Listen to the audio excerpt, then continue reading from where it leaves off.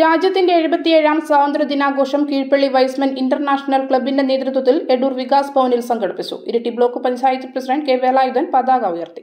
Iritty block panchayat president K Velayudhan പതാക ഉയർത്തി. ആറളം ഗ്രാമപഞ്ചായത്ത് president Rajesh club president Juby regional director Michael K Michael mother superior sister Jessy Theresa sister Namitha Mathikutty Panthamplackal എന്നിവർ സംസാരിച്ചു.